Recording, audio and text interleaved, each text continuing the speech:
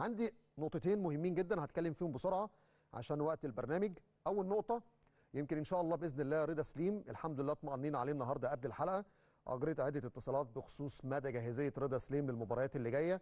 هل ممكن يستعين بيه مارسيل كولر في لقاء انبي كل شيء وارد ولكن رضا سليم جاهز تماما يقدر يدخل التدريبات الجماعيه من بكرة. عايز كولر يستعين به في مباراة انبي يضمه للمعسكر يوم الثلاثاء. وبالتالي رضا سليم أحد أبرز الأوراق اللي ممكن يعتمد عليها مارسيل كولر في لقاء انبي يوم الاربعاء اللي جاي.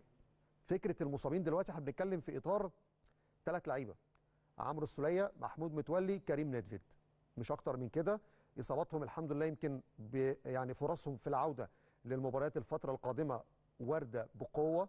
بكره هيبقى في أشعة عشان يطمئن الجهاز الطبي والجهاز الفني على مدى استجابتهم للبرامج التأهيلية. وقريب جدا بإذن الله هنشوف الثلاثه في التدريبات والمباريات الرسمية. ولكن عايز أطمن كل الناس إن رضا سليم بإذن الله هيكون جاهز مع الفريق ابتداء من لقاء انبي